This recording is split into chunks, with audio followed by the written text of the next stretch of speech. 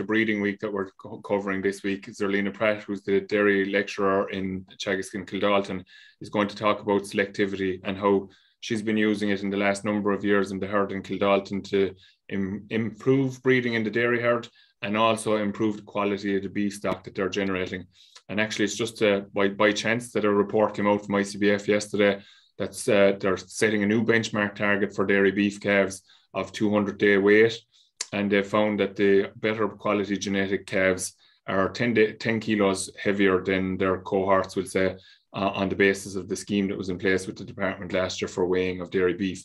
So better genetics is resulting in better, heavier carcasses at earlier ages. And obviously, Zerlina will be able to comment on this because they've been doing this for a while at, at Kildalton and they've been following through on their stock.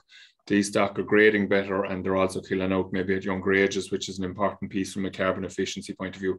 But I suppose initially, from a dairy point of view, obviously, we're going to look at how Zerlina's kind of picking her cows in terms of um, the ones that she is going to breed for to have replacements for the college herd, and then uh, the beef choices after that, then uh, subsequently. So Zerlina has a few slides that we're going to, she's just going to show there, and then we'll have a, a I suppose, a bit of a chat as we go along, and by all means, put in questions as we go. So thanks, Zerlina, for joining us. Thanks, Stuart. I'll just share my screen.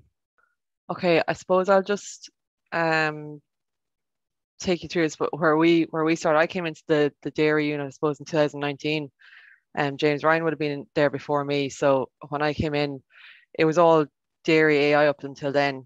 Um, and we have a lot of Jersey crossbreds in the herd as well. We would have crossed a lot of Jersey in the last couple of years. So we were just looking at the effect of kind of that Jersey crossbred bull calf and, you know, finding a, a kind of a saleable home for them. Um, I decided to go down the route of trying some beef AI in the herd. So I started that in 2020 um, and I suppose, look, it was just to try and number one is to try and add value to that kind of Jersey crossbred, you know, bull calf. Um, we obviously have a lot of students coming through the college here every year, and we wanted to look at that sustainability aspect as well with with calves coming through. Um, and you'd hear all the stories of of calves and no value to calves, and especially that type of calf as well. So it was just to demonstrate to students as well the option of maybe using a little bit of beef AI not saying converting to, to you know the majority of cows going to beef AI, but certainly a few of them. And on certain cows, and we'd highlight that students as well. Like this, not every cow gets a beef straw here in the college, and there's a, re- there's a reason for that. Um, we also I decided to kind of pull out the later born replacement heifer calves and have you know cal- calves that are coming on stream from kind of March onwards that they'd all be beef calves. I suppose look for us here, it, it works for us because there's a beef unit on the farm as well. So we've we have the beef unit here um, that take a lot of our beef calves. So students will see them born on the dairy unit as a crossbred beef calf, and then they travel through to finishing. So um, they'd certainly feedback from them is very good that they're happy with the the beef cross calves that are coming through to them and the finishing weights and things of those. Now I don't actually have the figures on them, but I can certainly get them. Um, afterwards. But it kind of, it just it works for us. It probably look it's not going to work for every every single farm out there, but certainly for us because we have the beef unit on the farm, we are finishing a lot of those animals ourselves. Um, so it kind of suits us. Um, what I do when it comes to this time of year, certainly about a month or two ago, there's two kind of protocols that we have in the dairy unit. Number one is I want to select out the highest EBI cows for dairy AI, and that's obviously to improve EBI. So at the moment, our herds at an EBI of 197 euros. And look, we're always trying to improve that every single year.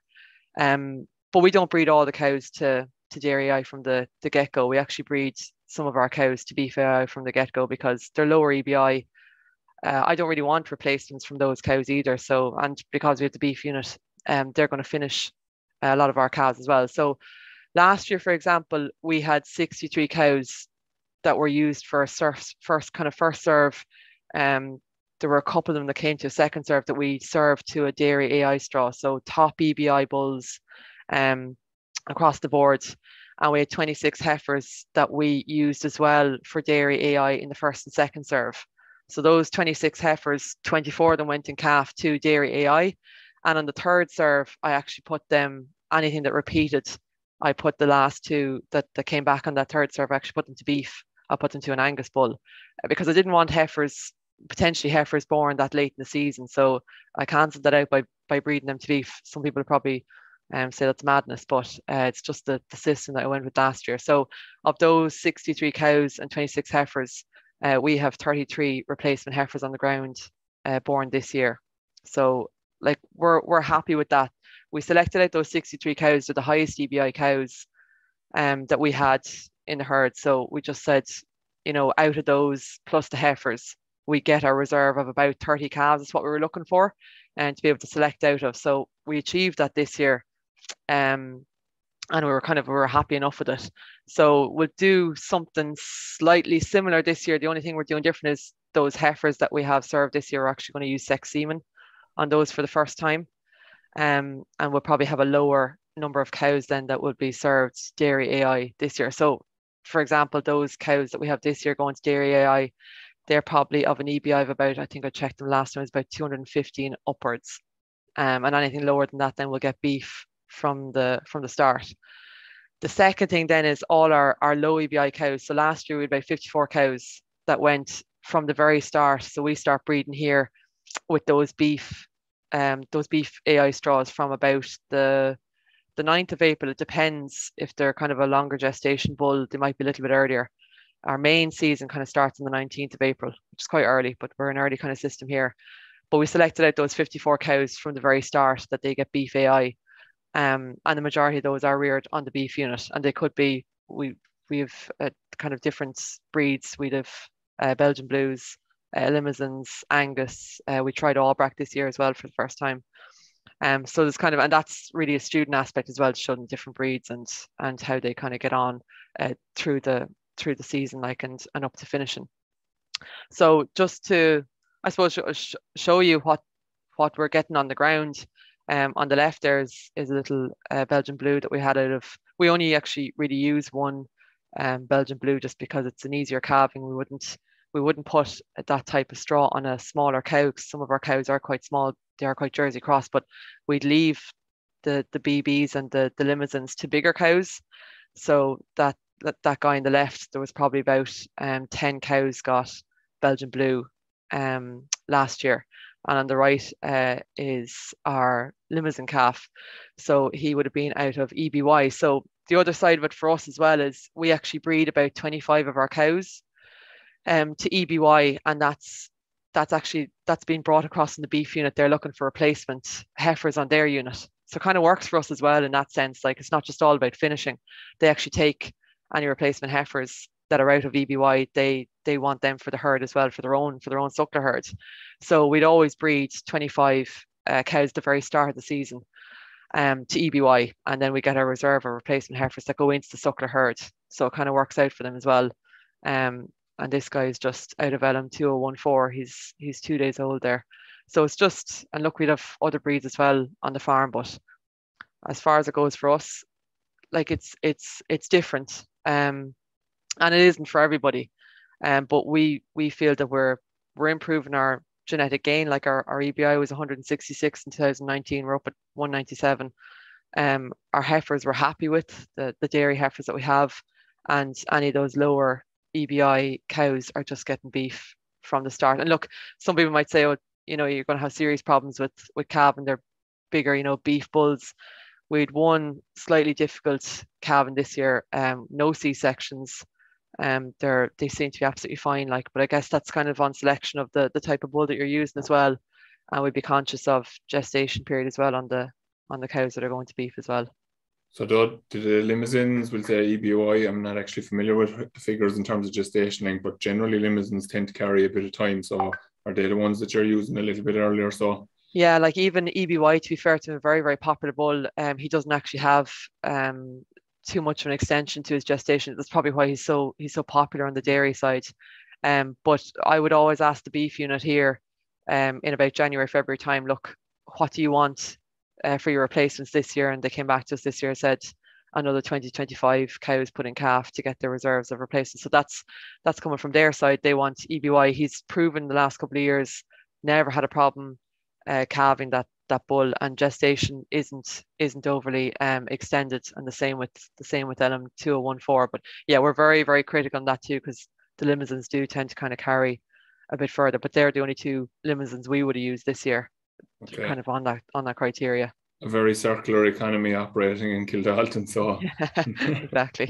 and I suppose the benefit for the the the, the suckler herd obviously is that they have very early calves again. They're like Yeah, exactly. Like, look, it's um, we start breeding those EBY calves just because the suckler unit actually here is is very early, is very early breeding and calving. So we kind of have to match them at the same time to get those replacements, you know, fit for breeding. Yeah. So we do we do tend to breed those those EBY calves from about the 9th of of April. So we'll start them fairly soon. Uh, just and we'll only do that for the first um just until we get that first 25 cows bred um to EBY and then we'll stop it then after that. So they won't be they won't be cows that will keep breeding limousin on into June. You know, we we kind of cut it off because uh, otherwise, like last year we stopped we finished up calving on the 28th of March. So it's just to keep it as compact for us as well. You yeah. know, not have them strain on into into April and that kind of thing as well. So, like you said there, that you start, um, you're starting to breed now. Maybe now on the 9th of April, we'll say, like you're just a couple of weeks ahead of everyone else, I suppose. So, but you're still doing it. You're you're calving that bit earlier, but you're also finished earlier, so that you're starting your AI and you're doing everything in your blocks all the time. Exactly. Um, just on the figures there, Zerlina, like we'll say in terms of the EBI that you're talking about for the the cows that you're going to breed this year, at 215 of an average EBI there for uh, as in as in your cutoff point, you're like uh what 60 you're 75 euros ahead of the national average uh, EBI there. That's a really really high cutoff point from your perspective. Would you would you if you weren't feeding the beef unit and the suckler unit there? Would you consider breeding more of the stock? We'll say because you have such a high genetic merit potential within the herd as potential saleable replacements, or or what's your thinking on it? Yeah, I, I, I think I would. I mean, look, we're we're sli- we are slightly different here because it's an education centre and objectives are slightly different. But if it was me and I had an EB, you know, an EBI of 197 at home and I cows at that high in EBI, I probably would be breeding more of those cows um, to AI or to, to dairy AI because um, look, there is there is a big market out there um, and it is a very high EBI as well. So we probably would have a slightly different agenda if it was if it was me at home now doing it. Um, I probably would breed more of the dairy um to to those those kind of cows. And again, I suppose, like in the conversations that we were having earlier, like it, the, a kind of controversial question to ask you, but is it nearly a waste of some of the dairy genetics within the in the country of Ireland? Will say that you are breeding some of these to beef, like, and will you change? Would will say, I know this is your first year now with the sexed semen. Will say, but is there, if it goes well, is there an, an opportunity maybe to run some sort of a replacement sale enterprise out of it as well, or is it something that you're not going to look at at all, or what's your thinking on it? Yeah, I think so. We um we would have previously when we were all dairy AI before, we would have previously sold kind of uh, bull and heifers. Um, and look, we've worked hard in the last couple of years to to keep that EBI going up, and it's it probably like it is a good story to tell, but um, it, it might be an option for this year. We might pull back a little bit on on how critical we are with the cows and actually breed a little bit more and have you know a couple of a couple of calves um, that we could sell as a surplus. Uh, and even even talking to some of the the dairy specialists, they did say that said, look, you know, if if you were thinking of breeding a few more of those high EBI cows, like there is a market there for them. Um, I suppose it was just it's just where it suits our system, but it's it's an option. It's even an option for this year is to breed a few more of those cows um, and sell those as surplus heifer cows because they probably are going to be like very high EBI for for you know you know for other farms as well. Yeah. And just um, then in terms of the the selection of the bulls for the beef unit, we'll say, um, are the lads dictating what you what you're going to use, or I know they've obviously said that they want more EBYs and so forth, but when for the for the beef unit itself, we'll say where the dairy beef stock, are you is, have you sole control over what you're picking there, or the, the lads? Yeah. Um. To be fair to to be fair to, to the lads on the beef unit, uh, other than EBY, they kind of give me free reign to to do what I want. So I I'm looking at well, calving difficulty is is a big one for us because they're just they're a different sort of cow that kind of Jersey cross, um, for a lot of them. And uh, then it's just like we tried Aubrac this year as well. Um, found them kind of soft enough kind of calves. Um, but that was just on a on a student kind of initiative, you know, to to be showing them different bull cows that or beef cows that can come off those cows. Um, and Angus's as well. Like we always get on really well with the Angus's as well. So it's kind of up to it's up to me really what I select. Like, and I, I would look at the DBI um to kind of pick out some of those bulls, you know, as but then there's obviously preference for ourselves. If a bull has done well the year before, we'll probably use him again. Like, you know, we've had we've had really good success with them, um, one or two of the Angus's over the years and it hasn't really changed. Like he's still still killing out quite well in that. So we're, we're happy enough like with them. You know? Yeah. And in terms of I suppose the, the big challenge that we would have Zerlina at a commercial level is probably people wanting to or would say they'll use beef, but they're just pushing uh, in terms of you mentioned the DBI there. They're tending to go towards the calving ease piece, and they're forgetting about the beef the beef element of it. Now that's a key focus for you because you're feeding into your beef unit. But we'll say like higher carcass weights from bulls that you're using, uh, beef bulls, beef AI bulls that you're using, aren't causing you problems in terms of calving difficulty. So by using the the index that's there, you're you're able to get an easy calving on time, relatively speaking, depending on the breed, obviously.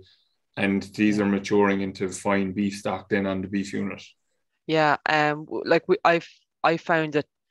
Look, we I think every dairy farmer has this focus on you know keeping the gestation nice and short and calving difficulty that, but like that's why we look at the DBI because it's grand and saying you know, and I, I've seen a couple of breeds over the years and a couple of bulls in particular, and they might they might calve really easily and the cow nearly sneezes them out and they're short gestation. But sure, what what use is that mm. when you know the the beef enterprise manager comes racing up the stairs to me and says, you know, that bull turned out to be an absolute disaster for carcass weight and that. So we we have to look at that, like, we have to make sure that although our parameters on the dairy unit is, you know, we don't want we don't want calves on into April and really long gestations, and we don't want you know to have to get the side door option with C sections that we do have to look at the beef element too. And like there is there is a case there for plenty bulls out there that are nice, short gestation, easy calving. Um, like I said, we only had we only had one tough calving this year, but it still wasn't a C section. Um, and they're still turning out to be, you know, good on the beef end for for carcass weights and that as well. So it can be done, like you know, with um with that kind of a system and and kind of looking through. You do have to study the DBI, like you have to look through it what do you want out of it? You know, some people have preferences for certain breeds and things, but you know, you do have to look through it with a good um a good look at it. But it can be done, like, you know, all those parameters from the dairy and the beef side can be met, like. Yeah, yeah. I suppose that's that's the key point to get across to people is like that you can achieve that calving ease and but still have a fine calf. And, and then you said it there that you're also picking some of the cows. So the Belgian blues are only going on to those bigger cows. So there's there's that balancing act to be done as well. So you've a bull selected that okay, they might they're not necessarily hard calving, but the the dam that you're going to put them onto, you're being conscious of that animal as well, that they what's their ability to calve that animal subsequently or that calf subsequently as well.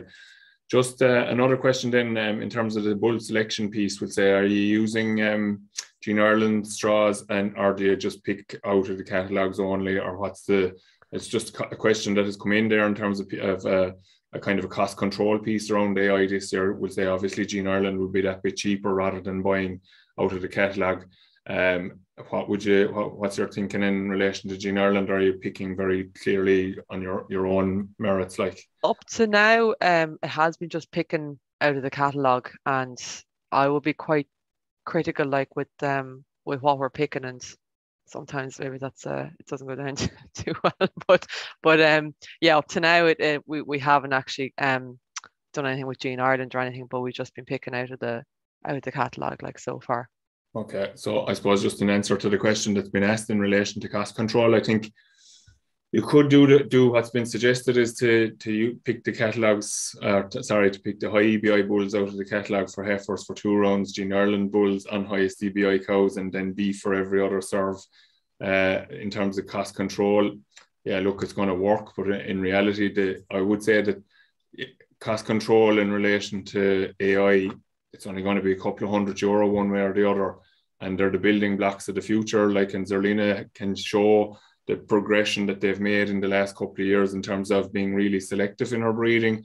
I'm not knocking Gene Ireland there now at all. I think that it has a role to play because maybe whether it may not play a role for you, Zerlina, from the point of view that you're EBI is so high, it could be it may not. They just the, depending on what you're trying to improve within the herd, not knowing what you're going to get uh, for at this stage because you'll probably nearly be started your EBI or your your dairy breeding soon. Um, maybe a bit of an issue for you, but in general, those um, Gene Ireland straws are going to be very high merit and where used appropriately can bring a herd forward as well. And they are obviously cheaper, but at the same time, I think it's a it's a false economy maybe to try saving in terms of of um, breeding uh, too much. I would say being penny wise and pound foolish almost in terms of investment in genetics because those genetics that you land on the ground next year are the genetics that you're going to be milking for the next six, seven years following the calving the, the, the, year after. And you need to make sure that they're as good as, as possible. And you also need to make sure that they're appropriate for your herd. So uh, you've kind of indicated that there Zerlina that from the point of view where you want the herd to go, the dairy herd to go, that you you like to have the control of what you're going to use in order to generate those replacements. Um, you mentioned that you're going to use sexed there this year, that, so it's only on the heifers, I think, is it?